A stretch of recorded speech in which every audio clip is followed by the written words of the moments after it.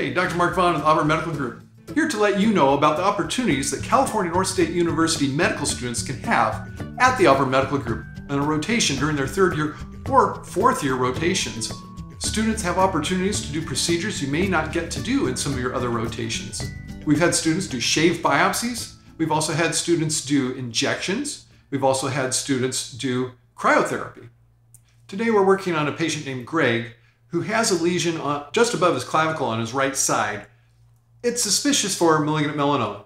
It's most likely a seborrheic keratosis, but it's rather large. It has an irregular border. It has a regular surface. It has unusual coloring, including the colors black and brown. So we would like to go ahead and get a shave biopsy. This accomplishes two things. One, it tells us what the lesion is, and two, it gets rid of a lesion he would like to have removed for cosmetic reasons anyway. So putting the two reasons together, it makes sense to go ahead and get this checked by a pathologist. Oh, well, hi, I'm Janet Lee Coombs. I'm a third year medical student at California Northstate University. Um, and uh, we're going to be doing a shave biopsy today. Uh, Hey, go ahead Great. and introduce. Very nicely. so he's already had anesthetic done, and here is my blade. Let me just do a. Feel any of that? Mm-mm. No? Oh, that's great. Thank you. Okay. Well, here we go.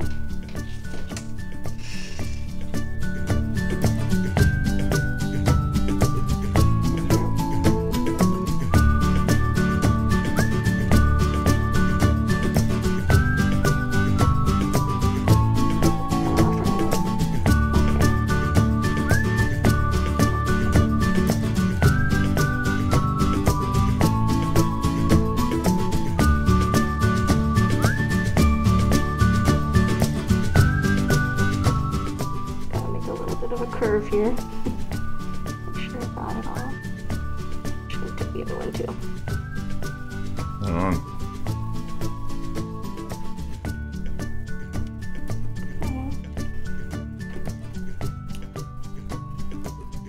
All right, That's it. that's it. Yeah, you're awesome. Oh, thank you. All right. I'm gonna get rid of this No pain. sharp here. No pain? None. Okay, perfect. You do it again? Oh yeah. if I have to. Okay, I'm gonna get the phone over here. As long as as long as uh, she gets to do it again. Get you uh No, you, you're, I didn't feel any pain from yours either, Doc. okay. When he did it. See how that All right, let me see. Okay. Okay, Okay, ready and was that?